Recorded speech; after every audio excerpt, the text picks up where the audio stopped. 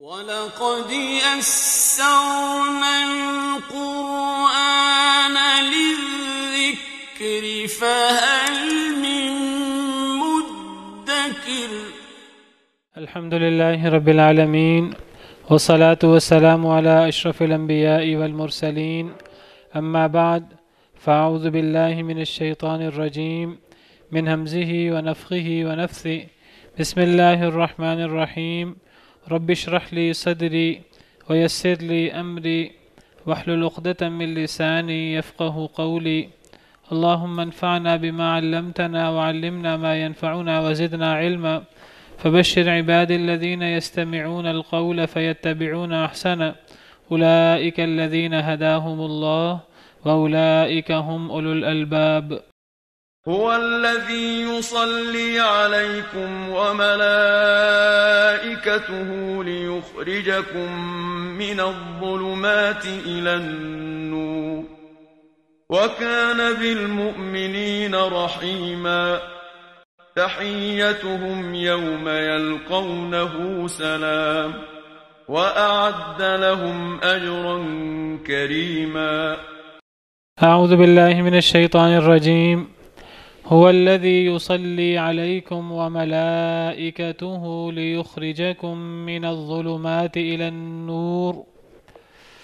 وہ وہ ذات ہے جو رحمتیں بھیجتا ہے تم پر، درود بھیجتا ہے تم پر.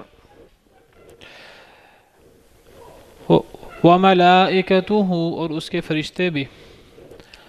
لِيُخْرِجَكُم مِّنَ الظُّلُمَاتِ إِلَى النُّور، تاکہ وہ نکال دے تمہیں اندھیروں سے نور کی طرف، تاکہ وہ تمہیں نکال دے اندھیروں سے، جہالت کے، گمراہی کے اندھیروں سے نور کی طرف، نور اسلام، نور ہدایت کی طرف۔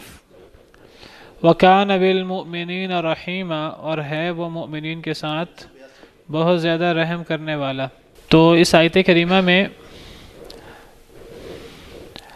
اللہ تعالیٰ نے فرمایا کہ اللہ تعالیٰ اور اللہ کے فرشتے مومنوں پر درود بھیجتے ہیں۔ اللہ اور اللہ کے فرشتے مومنوں کے نیک عمال کرنے پر مومنوں سے راضی ہو کر ان کے اوپر درود بھیجتے ہیں، خوش ہو کر۔ بہت سارے ایسے اعمال ہیں جن پر اللہ اور اللہ کے فرشتے درود بھیجتے ہیں مومنوں کے۔ جن اعمال میں سے ایک عمل جس کا پیچھے ذکر ہوا، ذکر الہی۔ جو شخص ذکر کرتا ہے اللہ کا بہت زیادہ، تو اللہ تعالیٰ جواب میں اس کے اوپر رحمتیں بھیجتے ہیں۔ اللہ بھی اور اللہ کے فرشتے بھی۔ تو اس سے پتہ لگتا ہے کہ اللہ کا اور اللہ کے فرشتوں کا درود بھیجنا یہ نبی کریم صلی اللہ علیہ وسلم کے ساتھ خاص نہیں ہے۔ اسی صورت میں سورہ حضاب میں اللہ تعالیٰ فرماتے ہیں، ان اللہ و ملائکتہ یصلون علی النبی، یا ایہا الذین آمنوا صلوا علیہ وسلموا تسلیما۔ کہ اللہ اور اللہ کے فرشتے نبی کریم صلی اللہ علیہ وسلم پر درود بھیجتے ہیں، اے ایمان والو، تم بھی نبی کریم صلی اللہ علیہ وسلم پر درود بھیجو اور سلام بھیجو۔ تو نبی کریم صلی اللہ علیہ وسلم پر اللہ کا اور اللہ کے فرشتوں کا درود بھیجنا یہ خاص نہیں ہے، بلکہ اللہ اور اللہ کے فرشتے مسلمانوں پر بھی درود بھیجتے ہیں۔ اگرچہ اس درود کی کیفیت میں فرق ہو سکتا ہے، نبی کریم صلی اللہ علیہ وسلم پر ایک بہت خاص قسم کا درود ہو، بہت خاص خاص قسم کی رحمتیں ہوں۔ تو لیکن مسلمانوں پر بھی، نیک لوگوں پر بھی اللہ اور اللہ کے فرشتے درود بھیجتے ہیں۔ جیسے یہاں آیا۔ تو اللہ تعالیٰ درود بھیجتے ہیں تم پر۔ علیکم، جمع ہے۔ تو تم سے مراد تمام مسلمان ہیں۔ وہ مسلمان جو خاص قسم کے نیک مال کریں تو پتہ لگا کہ یہ اللہ اور اللہ کے فرشتوں کا درود خاص نہیں ہے نبی کریم صلی اللہ علیہ وسلم کے ساتھ۔ باقی اللہ کا درود کیا ہے؟ اللہ کی صلات کیا ہے؟ کل بتا چکا ہوں۔ یا تو اس سے مراد اللہ تعالیٰ کا اس بندے کی، اس نیک بندے کی تعریف کرنا ہے، اس نیک بندے کی ثنا کرنا ہے، اس کی تعریف کرنا ہے۔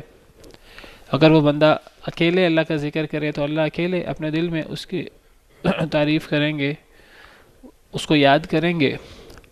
اور اگر وہ بندہ جو ہے وہ ایک مجمع میں، ایک اکٹھ میں اللہ کا ذکر کرتا ہے تو اللہ تعالیٰ بھی اس سے اچھے اکٹھے، اکٹھ میں اس سے اچھے مجمع میں اللہ تعالیٰ اس کی تعریف کریں گے، اس کو یاد کریں گے۔ یا پھر اللہ کی صلات سے مراد اللہ کا رحمتیں بھیجنا ہے۔ تو اللہ تعالیٰ رحمتیں بھیجتے ہیں۔ نبی کریم صلی اللہ علیہ وسلم پر بھی، دیگر انبیاء کرام علیہ السلام پر بھی، اور اپنے نیک بندوں میں سے بھی جو خاص خاص قسم کے اعمال کرتے ہیں، ان اعمال میں سے ایک عمل جس کا ان آیات میں ذکر ہو رہا ہے اور وہ کیا ہے؟ ذکر۔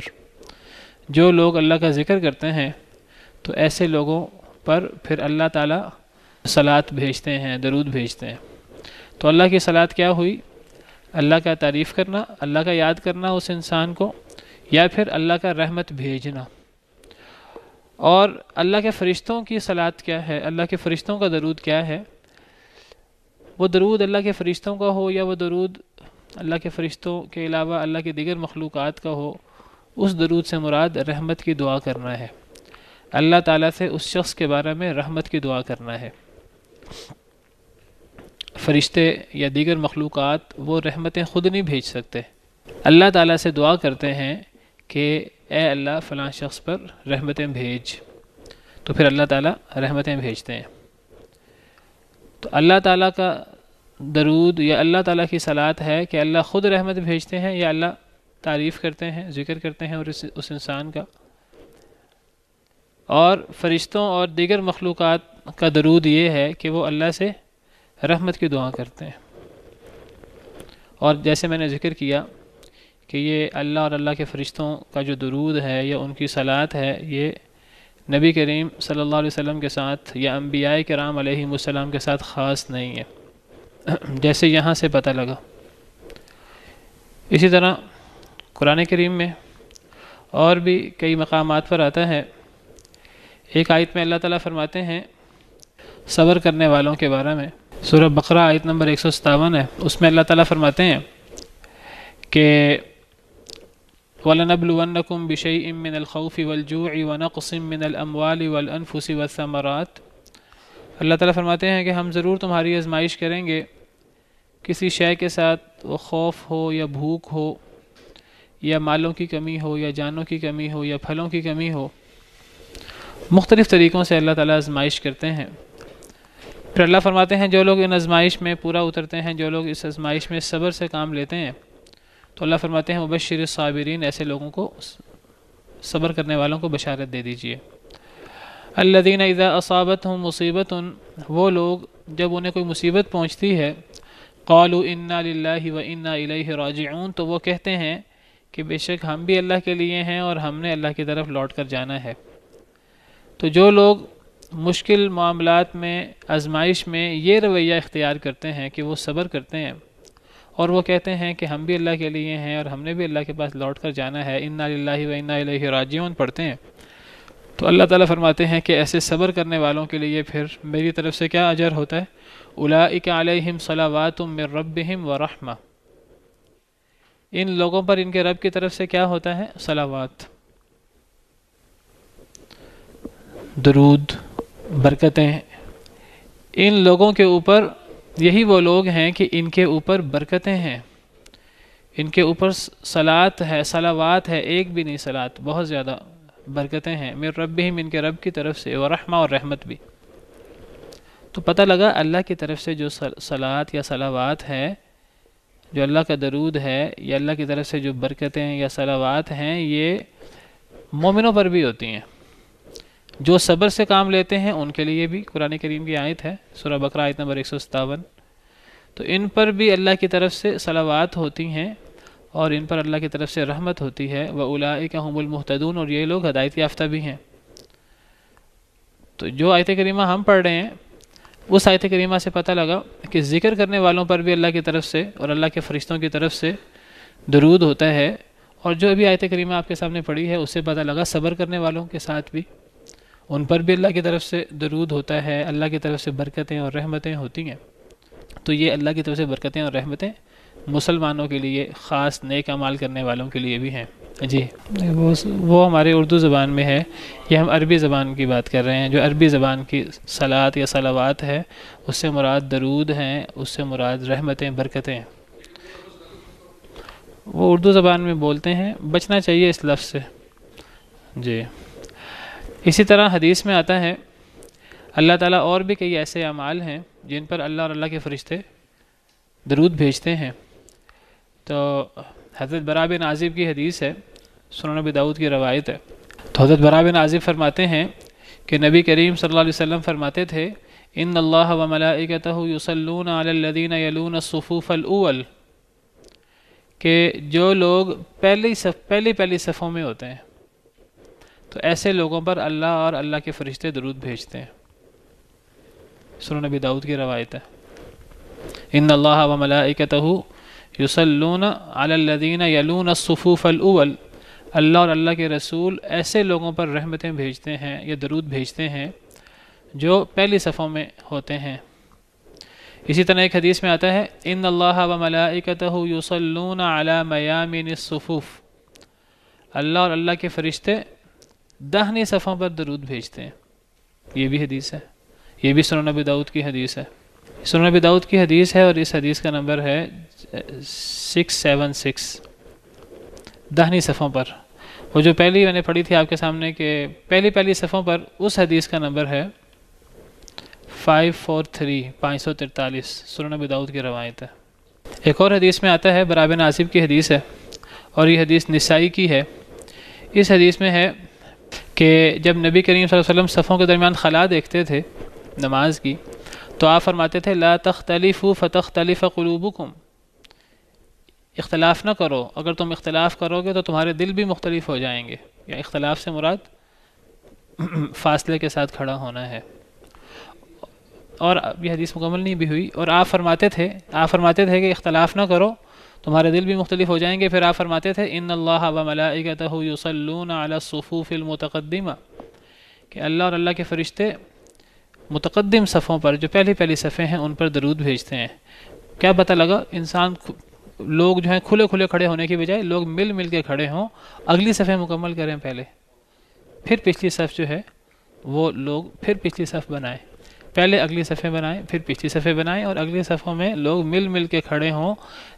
فاصلے فاصلے سے کھڑے نہ ہوں۔ یہ سنن نسائی کی روایت ہے حدیث نمبر آٹھ سو گیارہ۔ جی۔ جی جی۔ پہلی صفحے شروع کی صفحے پہلی صف کا سب سے بڑا ثواب ہے، اس کی صف کا، اس کے بعد اسے، اس سے پتہ لگتا ہے کہ صرف پہلی صف کا ثواب نہیں ہے۔ پہلی صف کا سب سے بڑا ثواب، اب یہ نہیں کہ اب دوسری اور دسویں صف برابر ہے، نہیں، اب دوسری کا ثواب اس کے مطابق، تیسری کا، اس کے بعد چوتھی کا، اس کے بعد پانچویں کا، اس کے بعد، تو یہ ثواب کم ہوتا رہتا ہے اور جیسی صفیں آگے ہوتے ہیں، وہ ثواب بڑھتا رہتا ہے۔ اور سب سے زیادہ ثواب پہلی صف کا ہوتا ہے۔ اور پہلی صف میں بھی دائیں طرف، جیسے ابھی ہم نے حدیث پڑھی۔ ٹھیک ہے، جو لوگ جلدی کرتے ہیں، جلدی کرنے کے باوجود اگر ایک ایک مسجد میں رش بہت زیادہ ہے، جس طرح مسجد نبی مسجد حرام میں ہوتا ہے، تو وہاں جلدی کرنے پر بھی ثواب ملے گا، لیکن بہرحال جو لوگ پہلی صف ان میں جگہ مل جاتی ہے، ان کو خاص ثواب بھی ملے گا۔ ایک اور حدیث ہے، سنن ابن ماجہ کی روایت ہے۔ اللہ تعالیٰ فرماتے ہیں، اللہ کے نبی صلی اللہ علیہ وسلم فرماتے ہیں، حضرت عائشہ کی روایت ان اللہ و ملائکتہ یصلون علی الذین یصلون الصفوف اللہ اور اللہ کے فرشتے ان لوگوں پر درود بھیجتے ہیں جو صفحے ملاتے ہیں۔ بعض دفعہ کیا ہوتا ہے صفوں کے درمیان جگہ خالی ہوتی ہے۔ اب کیا کرنا چاہیے؟ یا تو لوگ اکٹھے مل کے کھڑے ہو جائیں، درمیان میں خلانا چھوڑیں، یا پھر پچھلا بندہ آ کر اگلی صف مکمل کر دے، صف کو ملائے۔ تو فرمایا، حضرت عائشہ کی حدیث ہے کہ نبی کریم صلی اللہ علیہ وسلم نے فرمایا کہ اللہ اور اللہ کے فرشتے درود بھیجتے ہیں ایسے لوگوں پر جو صفحے ملاتے ہیں۔ اور پھر آگے ہے، اسی حدیث کے الفاظ ہیں، ومن صد فرجتن رفعہ اللہ بها درجتن جو کشادگی ہو صفوں کے درمیان، جو اس کشادگی کو ختم کر دیتا ہے، اس کو بھر دیتا ہے، اللہ اس کے درجات بلند کر دیتے ہیں۔ اللہ اس کے درجات بلند کر دیتے ہیں۔ یہ حدیث جو ہے، سنن ابن ماجہ کی حدیث ہے، یہ کی حدیث ہے۔ نو سو پچانوے نمبر حدیث ہے۔ ان اللہ و ملائکتہ یصلون علی الذین یصلون الصفوف ومن صد فرجتا رفعہ اللہ بها درجتا۔ اللہ اور اللہ کے فرشتے ان لوگوں پر درود بھیجتے ہیں جو صفحے ملاتے ہیں۔ چاہے مل کے کھڑے ہونے سے صفحے ملائیں چاہے خلا ہو تو ایک بندہ جو ہے پیچھے سے آ کر صف ملا لے۔ بلکہ اگر نماز شروع ہو جائے تو پھر بھی صفوں میں خلا ہو۔ انسان نماز کے دوران بھی اگلی صف پور کر سکتا ہے۔ آگے بڑھ کے اگلی صف پور کر لے۔ بعض دفعہ یہ ہوتا ہے کہ لوگ صفیں انہوں نے صحیح بنائی ہوتی ہیں، لیکن کسی کا وضو ٹوٹ جاتا ہے، کسی ایک کو جانا پڑتا ہے نماز کے درمیان۔ اب وہ جگہ خالی رہ جاتی ہے یا کوئی پچھلا بندہ کسی بندے کو کھینچ لیتا ہے اپنے ساتھ کھڑا کرنے کے لیے تاکہ میں اکیلا کھڑا نہ ہوں۔ تو ایسی جو صف میں خلا رہ جائے، اس کو پارٹ لینا چاہیے، اس کو خلا کو بند کر دینا چاہیے۔ اور اس میں حرکت حرکت کر کے انسان جو ہے وہ خلا پر کر لے۔ جو لوگ صفحے ملاتے ہیں، ایسے لوگوں پر اللہ اور اللہ کے فرشتے درود بھیجتے ہیں۔ وہ ناک پہ ہاتھ رکھ کے چلے جائے پیچھے۔ حدیث میں الفاظ ہیں اس طرح کے وہ ناک پہ ہاتھ رکھے۔ صفوں کے آگے سے گزر سکتا ہے سترا امام کا ہوتا ہے ویسے۔ وہ صفوں کے آگے سے گزر جائے یا صف کاٹ کے پیچھے سے گزر جائے، تو اب اس صف کو ملا دینا چاہیے آپ اس میں۔ اس میں خلا باقی نہیں رہنے دینا چاہیے۔ اگر لوگ نہیں ملاتے، پچھلا بندہ جو ہے وہ آگے چلا جائے۔ ایسے لوگوں پر اللہ اور اللہ کے فرشتے درود بھیجتے ہیں۔ صحیح ہے صحیح ہے یہ سارے دائیں ہاتھ سے دائیں بائیں ہاتھ کا اسی طرح ایک حدیث ہے سنن ابن ماجہ کی۔ ان اللہ و ملائکتہ یصلون علی الصف الاول۔ یہ بھی حدیث ہے ابن ماجہ کی۔ میرے کہنے کا مقصد یہ ہے کہ یہ جو اللہ اور اللہ کے فرشتوں کا درود بھیجنا ہے، یہ انبیاء کرام علیہ السلام کے علاوہ مومنوں کے ساتھ بھی ہے اور خاص خاص اعمال پر ہے۔ خاص خاص خاص اعمال پر یہ جو ہے وہ ہے۔ تو بہرحال اللہ اور اللہ کے فرشتے جو ہیں وہ بہت سارے ایسے نیک اعمال ہیں جن پر اللہ اور اللہ کے فرشتے درود بھیجتے ہیں۔ تو اللہ کا درود کیا ہوا؟ وہ اللہ کے تعریف ہوئی اس آدمی کی؟ یا اللہ کا رحمتیں بھیجنا ہوا؟ اور فرشتوں کا درود کیا ہوا کہ وہ اس شخص کے لیے اللہ سے رحمت کی دعا کرتے ہیں؟ اور فرمایا وکان بالمؤمنین رحیمہ اور اللہ تعالیٰ مومنین کے ساتھ رحم کرنے والے ہیں۔ تو اللہ کی رحمت جو ہے یہ مومنین کے ساتھ بھی ہے، کافروں کے ساتھ بھی ہے۔ لیکن مومنوں کے ساتھ جو اللہ کی رحمت ہے، یہ خاص قسم کی رحمت ہے اور یہ بہت دیر پا ہے۔ یہاں لفظ رحیم آیا ہے، رحیم۔ رحیم سے یہ مبالغے کا سیغہ ہے، بہت رحم کرنے والے۔ اسی سے ایک لفظ رحمان ہوتا ہے۔ اللہ کی ایک صفت رحمان ہے اور اللہ کی ایک صفت رحیم ہے۔ تو رحمان اور رحیم کا دونوں میں مبالغہ ہے۔ تو فسرین کرام نے، صحابہ کرام نے، حضرت ابن عباس وغیرہ دیگر صحابہ کرام نے اس میں فرق بھی بتایا ہے کہ اس کا فرق کیا ہے رحمان اور رحیم کا۔ تو کہتے ہیں کہ رحمان اور رحیم دونوں مبالغہ کے سیغے ہیں، بہت رحم کرنے والا، بہت رحم کرنے والا۔ لیکن رحمان کے اندر زیادہ لوگوں پر رحمت مراد ہے۔ اور رحیم کے اندر ایسے رحمت مراد ہے جو بہت دیر پا ہو۔ دونوں میں مبالغہ مراد ہے۔ رحیم میں ایسی رحمت مراد ہے جو تا دیر ہو، ہمیشہ ہمیش کے لیے ہو۔ اور رحمان کے اندر رحمت میں مبالغہ مراد ہے، لیکن ایسی رحمت مراد ہے جو زیادہ سے زیادہ لوگوں کے لیے ہو۔ تو اللہ کی رحمت دنیا میں مومنوں پر ہے اور مومنوں کے ساتھ ساتھ کافروں پر بھی ہے۔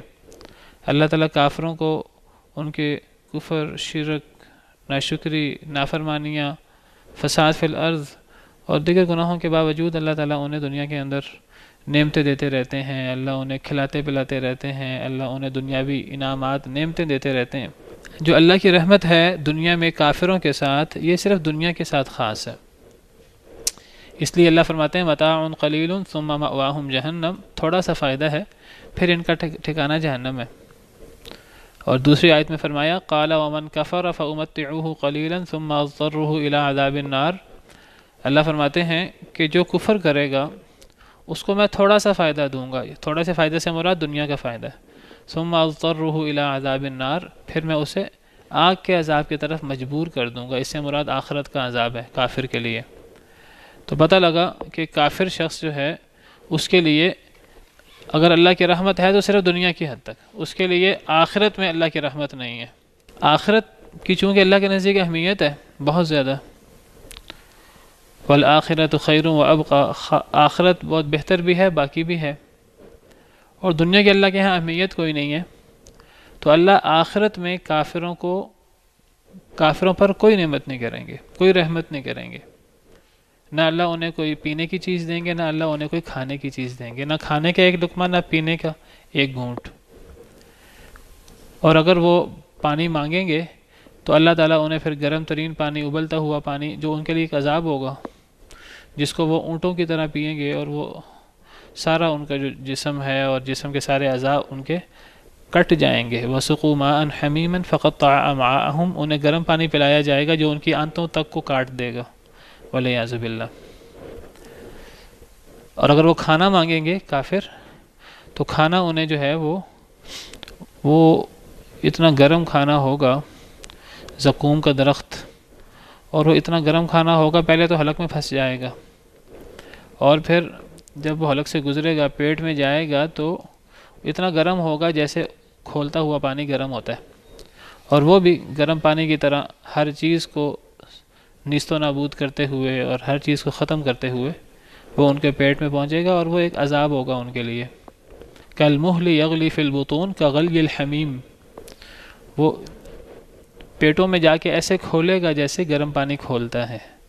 وہ زکوم کا درخت۔ اور یہ مجرموں کے لیے یہ کھانا ہے آخرت میں۔ ان شجرت زکوم تعام الاسیم۔ زکوم کا درخت گناہ گاروں کا کھانا ہے۔ ولی حضب اللہ تو آخرت میں کافروں کے لیے کوئی رحمت نہیں ہے اللہ کی۔ بلکہ قرآن کریم کے ایک جو کہ ایک آیت میں اللہ فرماتے ہیں کہ اللہ تعالیٰ جو ہیں وہ جہنم والے، جنت والوں سے کہیں گے کہ ہمیں پانی دو یا کھانے کی کوئی چیز دو۔ وقال ونادى اصحاب ونادى اصحاب النار اصحاب الجنه ان افيضوا علينا من الماء او مما رزقكم الله۔ جہنم والے جنت والوں سے کہیں گے، ہم پر تھوڑا سا پانی بہا دو، یا جو تمہیں اللہ نے رزق دیا ہے، کھانے پینے کی چیز کوئی، وہ ہمیں دے دو۔ تو جنتی کہیں گے قالو ان اللہ حرمہما علی الکافرین۔ جنتی کہیں گے، اللہ نے یہ دونوں چیزیں کافروں پر حرام کر دی ہیں۔ آخرت میں ان کو کچھ نہیں ملنا۔ کچھ ملے گا تو وہ بھی عذاب ہوگا۔ وہ بھی کوئی، اس سے نہ پیٹ بھرے گا، نہ اس سے پیاس بھوجے گی ولی حضب اللہ لیکن مومنوں کے ساتھ جو اللہ کی رحمت ہے وہ آخرت میں بھی، اور یہ رحمت بہت زیادہ ہے۔ اور یہ رحمت کتنی زیادہ ہے، جنت کی نعمتیں کتنی وافر ہیں اور کتنی وسیع ہے۔ اس کے بارے میں بہت ساری احادیث ہیں، قرآن کریم کی بہت ساری آیات ہیں۔ تو اس سے پتہ لگتا ہے کہ اللہ مومنوں کے ساتھ رحیم ہے، کافروں کے ساتھ اللہ رحیم نہیں ہے۔ رحیم سے مراد ایسی رحمت جو دیر پا ہے، جو ہمیشہ ہمیش کے لیے ہے۔ دنیا میں بھی رحمت اور آخرت میں بھی، وہ دنیا میں بھی ہوتی ہے، آخرت میں بھی ہوتی ہے۔ اور اللہ کی رحمت جو ہے وہ اتنی زیادہ ہے کہ اللہ کی رحمت کے اگر سو حصے کیے جائیں تو دنیا میں ہمیں جتنی رحمت اور نرم دلی اور ہمدردی کی ساری صورتیں نظر آتی ہیں دنیا جہاں کے اندر، یہ اس رحمت کے سو حصوں میں سے ایک حصہ اللہ نے دنیا میں بھیجا ہوا ہے۔ باقی ساری کی ساری رحمت اللہ نے جو ہے وہ آخرت میں رکھی ہوئی ہے اور مومنوں کے لیے خاص ہے۔ تو اللہ کی رحمت بہت زیادہ ہے دنیا کے اندر رحمت کی سب سے بڑی مثال ماں ہے، تو اللہ کی رحمت تو ستر ماؤں، سینکڑوں ماؤں، ہزاروں ماؤں، انگنت ماؤں سے بھی اللہ کی رحمت زیادہ ہے۔ لیکن یہ رحمت اس شخص کے لیے ہے جو اللہ کی رحمت کا طلبگار ہو۔ یہ رحمت اس کے لیے ہے۔ فسا اختبو ہاں لدین یتقون ویؤتون زکوٰۃ میں اس رحمت کو لکھ دوں گا، اس رحمت کو طے کر دوں گا ان لوگوں کے لیے جو اللہ سے ڈرتے ہیں۔ ویؤتون الزکوٰۃ جو زکوٰۃ ادا کرتے ہیں۔ والذین هم بآیاتنا یؤمنون جو ہماری آیتوں پر ایمان لاتے ہیں، جو اللہ کے سامنے جھکتے ہیں، جو اللہ کے سامنے اپنے گناہوں کی معافی مانگتے ہیں، جو اللہ کے رحمت کے طلبگار ہیں، یہ رحمت اللہ کی ان لوگوں کے لیے جو اللہ کے رحمت کا طلبگار ہی نہیں ہے، جس کو اللہ کی رحمت کی پرواہ نہیں ہے، ایسے لوگوں کے لیے اللہ کی رحمت نہیں ہے۔ دنیا میں کیوں ہے پھر سوال پیدا ہوتا ہے؟ اللہ نے آخرت میں نہیں رکھی کافروں کے لیے، دنیا میں کیوں ہے؟ اس کا جواب اللہ نے قرآن میں جگہ جگہ دیا ہے۔ احادیث مبارکہ میں بھی دنیا میں اس لیے ہے کہ اللہ کو دنیا کی پرواہ نہیں ہے۔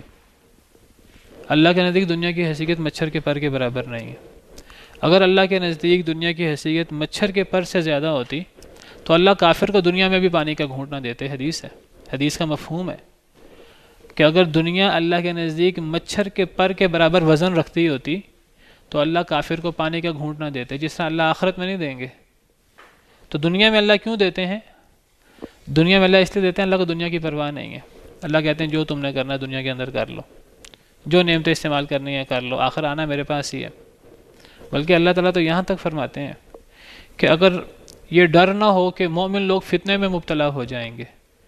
مومن لوگ آزمائش میں مبتلا ہو جائیں گے جو دنیا میں نعمتیں ہوتی ہیں نا تو شیطان اس کی وجہ سے بڑا دھوکہ دیتا ہے۔ دنیا کو رنگین بنا کے پیش کرتا ہے۔ اللہ فرماتے ہیں، اگر یہ ڈر نہ ہو کہ لوگ فتنے میں مبتلا ہوں، میں کافروں کو دنیا کے اندر، مجھے دنیا کی پرواہ نہیں ہے۔ میں اتنا مال دوں، اتنا مال دوں کہ ان کے گھر، ان کے بستر، ان کے سیڑھیاں، ان کے دروازے، چھتیں، ان کی ہر چیز میں سونے چاندی کی بنا دوں۔ اتنا مال دے دوں کافروں کو۔ سورہ زخرف کی آیت ہے۔ ولولا أن يكون الناس أمة واحدة لجعلنا لمن يكفر بالرحمن لبيوتهم سقفا من فضة ومعارج عليها يظهرون ولبيوتهم أبوابا وسررا عليها يتكئون وزخرفا اللہ فرماتے ہیں کہ ڈر نہ ہو، لوگ ایک ہی ایک امت بن جائیں گے، سارے کافر ہو جائیں گے۔ مسلمان دیکھیں، کافروں پر اللہ کی اتنی نعمتیں دنیا کے اندر، سونا چاندی۔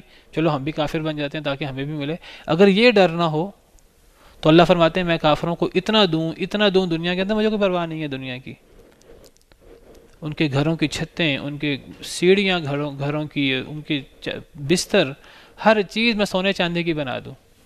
پھر اللہ تعالیٰ حقیقت بیان فرماتے ہیں۔ اللہ فرماتے ہیں وہ ان کل ادال لمبا متا الحیات دنیا یہ دنیا کی جتنی نعمتیں ہو جائیں، یہ ساری کی ساری دنیا کا متا ہے۔ والآخرت عند ربک للمتقین آپ کے رب کے نزدیک آخرت صرف متقین کے لیے۔ جو اصل ہے، اس کے اندر کافروں کے لیے کوئی پھوٹی کوڑی بھی نہیں ہے۔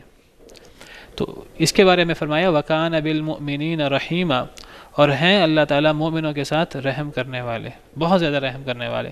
لیکن یہ بات یاد رکھیے، یہ رحمت اس کے لیے ہے جو اللہ کی رحمت کا طلبگار ہوتا ہے۔ جو اللہ سے اللہ کی رحمت مانگتا ہے، جو اس کے لیے عمل کرتا ہے، جو اللہ کی باتیں مانتا ہے۔ جو نہیں مانتا، تو وہ کہ اللہ کی رحمت مجھے بھی ملے گی۔ اللہ جو اللہ سے دور بھاگ رہا ہے، اللہ کی رحمت اسے کیسے ملے گی؟ جنت صرف اس کے لیے ہے جو جنت میں جانا چاہتا ہے۔ جو جنت میں جانا ہی نہیں چاہتا، اس کے لیے اللہ اس کو پکڑ پکڑ کے جنت میں نہیں ڈالیں گے۔ اسی لیے حدیث مبارکہ میں آتا ہے، کلو امتی خلون الجنہ، میرا ہر امتی جنتی ہے اللہ من اب آئے سوائے اس کے جو انکار کر دے۔ اب یہ شخص جنت میں جانا ہی نہیں چاہتا، جنت میں جانے سے انکار کرتا ہے، وہ تو جنت میں نہیں جائے گا۔ صحابہ کرام نے عرض کی کہ اے اللہ کے نبی صلی اللہ علیہ وسلم، جنت میں جانے سے انکار کون کرتا ہے؟ آپ نے فرمایا، من اطاعنی دخل الجنہ، جو میری اطاعت کرے گا وہ جنت میں داخل ہو جائے گا وہ من آسانی اور جو میری نافرمانی کرے گا فقط ابا، وہ جنت میں جانے سے منکر ہے، وہ جنت میں جانا ہی نہیں چاہتا۔ تو اللہ کی رحمت کا طلبگار ہونا، اللہ کی رحمت کے لیے کچھ محنت کرنا، کوشش کرنا، دنیا کے اندر آزمائشوں میں پورا اترنا، اللہ اور اللہ کے رسول کی بات ماننا، اللہ اور اللہ کے رسول کی اطاعت کرنا ضروری ہے۔ جو اطاعت کرے گا یہ ساری رحمتیں اس کے لیے خاص ہیں۔ اور جو نہیں اطاعت کرتا، وہ جنت میں جانے سے ویسے ہی منکر ہے۔ تو ایسے شخص کے لیے آخرت میں کچھ بھی نہیں ہے۔ ولیازب اللہ فرمایا، تحیتہم یوم یلقونہ سلام۔ ان کا تحفہ، یہ وہی ذکر کرنے والوں کی بات ہو رہی ہے کہ جن لوگوں پر اللہ کی طرف سے اور اللہ کے فرشتوں کی طرف سے درود ہوتا ہے، سلام ہوتا ہے رحمتیں اللہ کی طرف سے۔ فرمایا، ان کا تحفہ۔ اس دن، جس دن وہ اللہ سے ملاقات کریں گے، سلام سلام ہوگا۔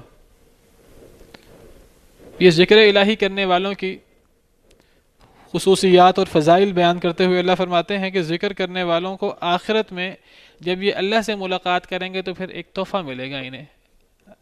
وہ کیا ملے گا؟ سلامتی کا۔ اور یہ کون سلام پیش کرے گا؟ اللہ رب العالمین۔ ان کا تحفہ اس دن، جس دن وہ اللہ سے ملاقات کریں گے، سلام ہوگا۔ ذکر الہی کرنے والوں کے لیے خصوصیت ہے، اللہ رب العالمین سلام کہیں گے۔ جس طرح اللہ تعالیٰ اپنے نبیوں پر سلام بھیجتے ہیں۔ سلام علی ابراہیم، سورہ صافات میں، قرآن کریم میں۔ سلام علی موسیٰ و ہارون۔ سلام علی الیاسین۔ اسی طرح قل الحمد للہ وسلام علی عبادہ الذین اصطفیٰ۔ کہہ دیجیے ہر قسم کی تعریف اللہ کے لیے ہے اور سلامتی اللہ کے ان بندوں پر جن کو اللہ نے چن لیا۔ تو یہ تو سلامتی اللہ کے انبیاء کے لیے، خاص لوگوں کے لیے ہے۔ تو قیامت کے دن جو ذکر الہی کرنے والے ہوں گے، ان کو اللہ کی طرف سے سلام ہوگا۔ اللہ انہیں سلام کہیں گے، جس کو اللہ سلام کہیں گے تو پھر کیا وہ محفوظ نہیں ہوگا؟ ہر قسم کے فکر سے، ہر قسم کے غم سے۔ سلام کا مطلب ہی سلامت رہنا، محفوظ رہنا۔ تو جسے اللہ سلام کہیں گے تو وہ پھر ہر قسم کے خوف، غم، مصیبت، تکلیف، ہر چیز سے محفوظ ہوگا۔ اسی لیے اللہ تعالیٰ ایک اور آیت میں سورہ یاسین کی آیت ہے، اس میں فرماتے ہیں، سلام قول من رب الرحیم۔ رب رحیم کی طرف سے سلام ہوگا۔ رب رحیم سلام کہیں گے۔ تو تحیتہم یوم یلقونہ، سلام کی ایک تفسیر یہ ہے کہ ان کا تحفہ یعنی یہ ذکر کرنے والوں کا تحفہ کس دن، جس دن وہ اللہ سے ملاقات کریں گے یعنی قیامت کے دن۔ ذکر کرنے والوں کا صلہ، ذکر کرنے والوں کا انعام، ان کا تحفہ جس دن وہ اللہ سے ملاقات کریں گے یعنی قیامت کے دن سلام ہوگا۔ ایک تفسیر یہ ہے کہ یہ سلام اللہ کی طرف سے ہوگا۔ جیسے سورہ یاسین کی آیت بھی ہے، اس میں سراحت ہے۔ اللہ کی طرف سے بھی سلام ہوگا۔ اور دوسری تفسیر یہ ہے کہ وہ ایک دوسرے کو سلام کریں گے۔ ایک دوسرے کو سلام کریں گے۔ جنت کے اندر اہل جنت کا آپس میں ایک دوسرے کو تحفہ کیا ہوگا؟ سلام۔ ان کو تحفہ تہیہ کہتے ہیں تحفے کو۔ تحفہ۔ جس طرح سورہ یونس میں اللہ فرماتے ہیں، اہل جنت کے بارے میں اللہ فرماتے ہیں، دعواہم فیہا سبحانک اللہم و تحیتہم فیہا سلام کہ جنت میں اہل جنت کی پکار سبحان اللہ ہوگی سبحانک اللہم اے اللہ، آپ پاک ہیں۔ و تحیتہم فیہا سلام، اور ان کا تحفہ آپس میں ایک دوسرے کو سلام ہوگا۔ ایک اور آیت میں سورہ واقعہ میں اللہ تعالیٰ فرماتے ہیں، لا يسمعون فيها لغوا ولا تأثیما۔ کہ جنتی لوگ جنت کے اندر نہ کوئی لغو بات سنیں گے، نہ کوئی گناہ کی بات سنیں گے، الا قیلا سلاما سلاما، مگر ہر طرف سلام کی صدائیں ہوں گی۔ ایک دوسرے کو سلام کہیں گے۔ تو یہ قیامت کے دن ذکر کرنے والوں کا جو تحفہ ہے، جس دن وہ اللہ سے ملاقات کریں گے، سلام ہوگا۔ خواہ یہ سلام اللہ کی طرف سے ہو، خواہ یہ سلام اہل جنت کا آپس میں ہو۔ خواہ یہ سلام فرشتوں کی طرف سے ہو۔ فرشتوں کی طرف سے بھی سلام ہوتا ہے۔ فرشتوں کی طرف سے مرتے وقت بھی سلام ہوتا ہے۔ جنت میں داخلے کے وقت بھی سلام ہوگا۔ مرتے وقت بھی ہوتا ہے۔ الذين تتوفاهم الملائكه طيبين يقولون سلام علیکم جنہیں فرشتے فوت کرتے ہیں، اگر وہ پاک ہوں، تو فرشتے انہیں سلام کہتے ہیں۔ تو فرمایا، تحیتہم یوم یلقونہ سلام۔ ان کا تحفہ جس دن یہ اللہ سے ملاقات کریں گے، سلام ہوگا۔ اللہ کی طرف سے ہو، فرشتوں کی طرف سے ہو یا جنتیوں کا آپس میں۔ وَأَعَدَّ لَهُمْ أَجْرًا كَرِيمًا۔ اور تیار کر رکھا ہے یعنی اللہ نے لہم ان کے لیے اجرن کریمہ، بہت ہی معزز قسم کا اجر، بہت ہی بہترین اجر جنت کے اندر۔ اس اجر کی کچھ صورتیں اللہ نے قرآن میں بیان کی ہیں اور بعض مثالیں صرف۔ ورنہ در حقیقت وہ اجر اور وہ نعمتیں ایسی ہیں کہ جا جنہیں نہ کبھی کسی آنکھ نے دیکھا ہے، نہ کسی کان نے سنا ہے، نہ کبھی کسی کے دل میں ان کا خیال آیا ہے۔ ایسی ایسی نعمتیں ہیں۔ اللہ تعالی ہمیں ان لوگوں میں شامل فرمائے۔ چلیں جی پھر آج کے لیے اتنا ہی، کافی ہے۔ سبحانک اللہم ربنا وبحمدک، اشہد ان لا الہ الا انت، استغفرک و اتوب